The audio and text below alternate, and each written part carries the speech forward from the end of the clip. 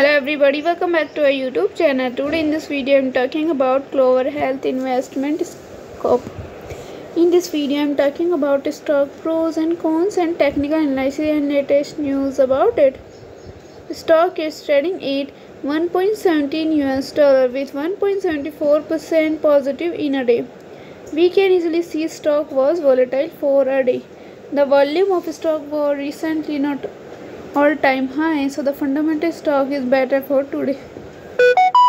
Before buying and selling the stock please consult your financial advisor.